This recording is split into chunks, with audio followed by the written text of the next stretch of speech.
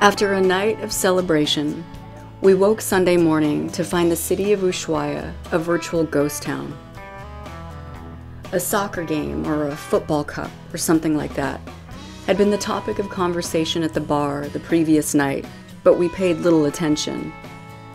We were preoccupied with Lapataia.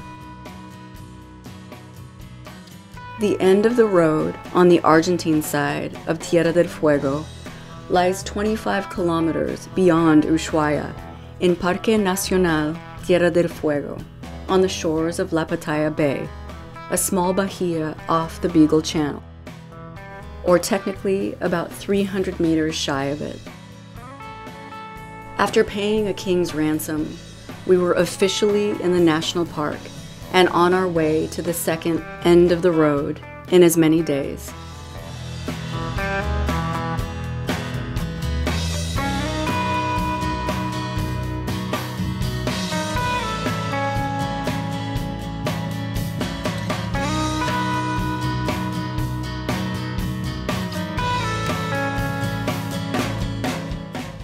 Normally, this parking lot is packed with tour buses, overlanders, and bucket listers, eager to check this box. But today, we have the place to ourselves. Woo! This is the end of the road, huh? This is it, baby. Into the road. After a few high fives and a failed walk in sequence, What happened? What? Uh, Rose. Chad decided to wax poetic about riding the Americas. To the Arctic in both the United States and Canada, to Deadhorse and Tuk, and now I've ridden to the end of the road. But that got old real quick. Then Diego got emotional about his first real moto expedition. I don't know. I probably will tell you when I'm when I'm finished because right now I'm in a this sort of a cloud. But every day has been very different, and it's been a great adventure, and and learning a lot. I think they call that cloud a hangover. I don't remember. Okay, well, bless them. After the guys were done being epic, we took the photos you've got to take before making the short walk to the actual Lapataia Bay.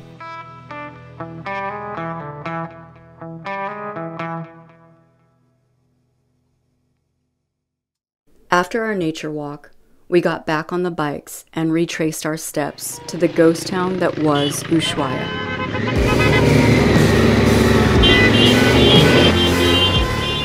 We were shocked and very humbled to see the entire city turn out to celebrate our achievement.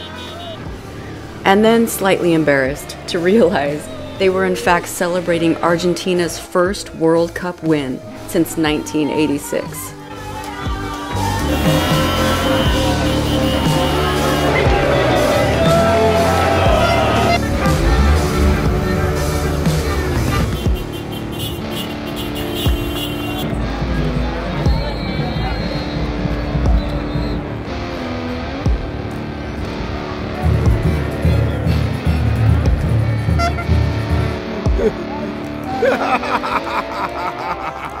After soaking it all in, cleaning up, and partying with a few locals, we retired to a small pizzeria to plan the next day's route.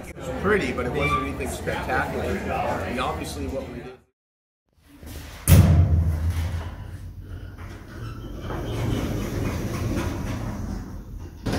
Early the next morning, we packed up, fueled up, and departed Ushuaia, while most of Argentina was still in bed or busy nursing a hangover. At the pizzeria, we had decided to try our luck on Provincial Road J to a remote estancia and naval outpost on the Beagle Channel. Keeping our eyes open along the way for campsites and any excuse to get out the drone.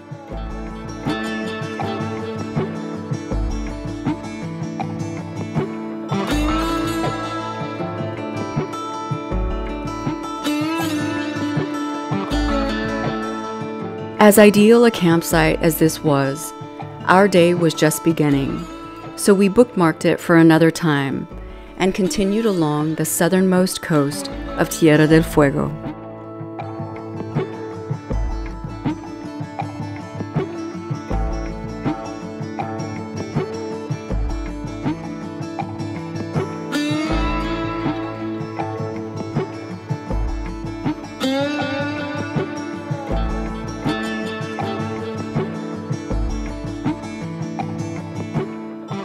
Pushing on, we happened across Estancia Harberton, founded by Anglican missionaries in 1886. A great place to take in the views and stop for a hot cup of coffee.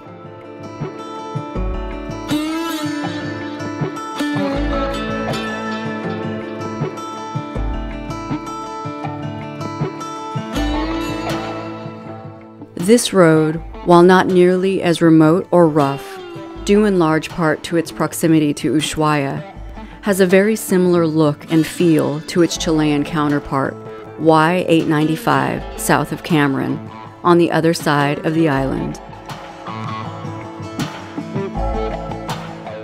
Alternating between the coast and native forest, over tidal rivers and across cliffs, the beauty of this place is boundless and very distracting, sometimes dangerously so.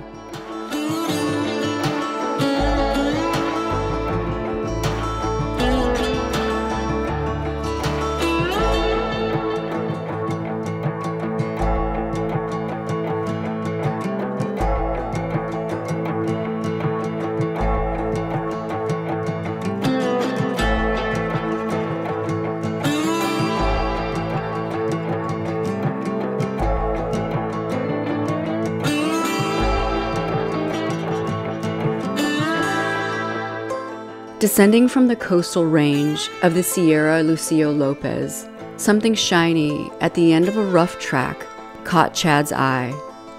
And luckily, Shiny had a ladder.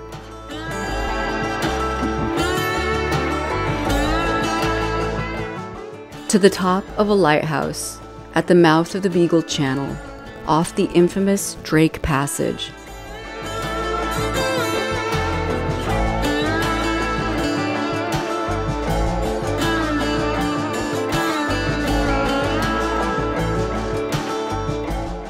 Departing our deceivingly precarious pit stop, Chad made a wager that didn't pay off. At least, not the way he expected.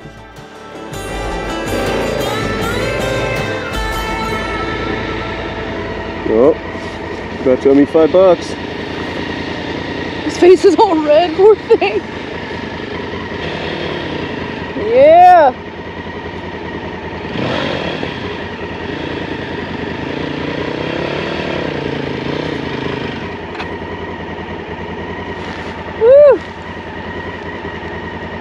Not out yet.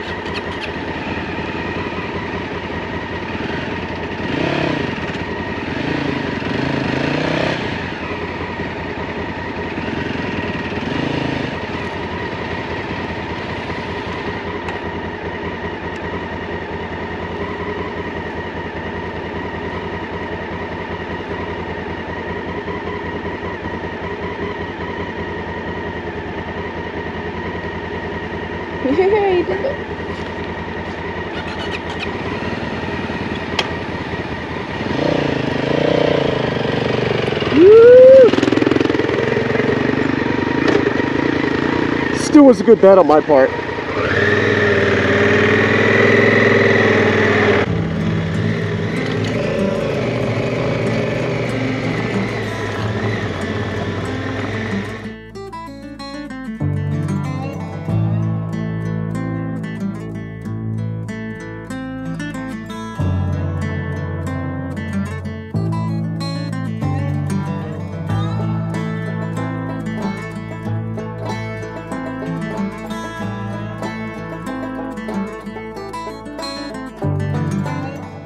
Continuing east along the coast and crossing the Moat River, we reach the remote naval outpost and the end of Provincial Road J.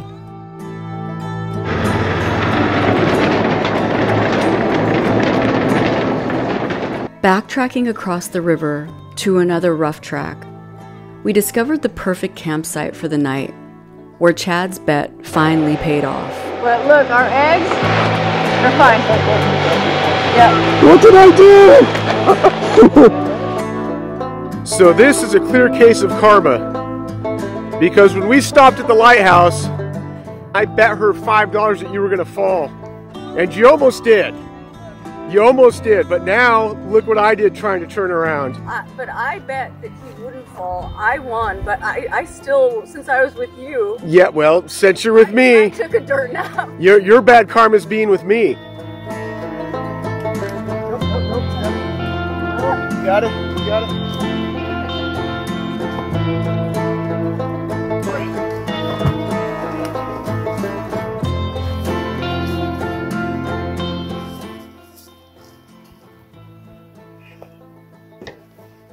Comes with a kickstand.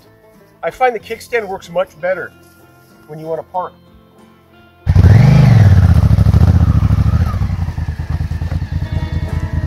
Why are you still filming? This is embarrassing.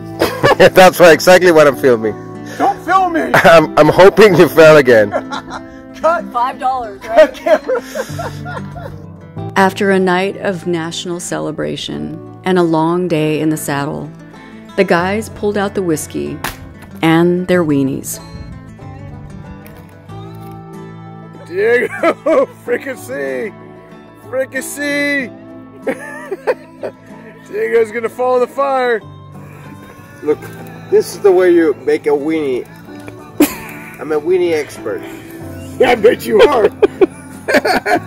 It's just cooling down. my boot. Leave my weenie alone, man. I'm serious. Leave my weenie alone. He threw on your helmet! helmet weenie! we need That's perfect, man. You don't understand. You don't understand the South American way, man. Jesus Christ! That's perfect. It's horrible! It's horrible! Oh, shit.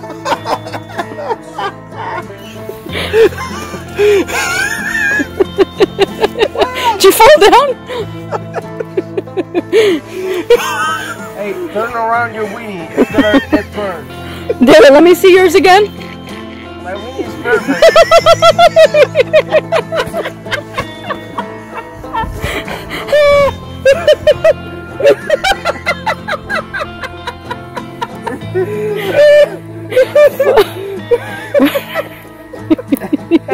knock it. My weenie's getting cooked. I think we've had too much whiskey! oh, fuck you! Oh. Check your weenie, man. Check your weenie. He's fine. It's fine. Oh my god.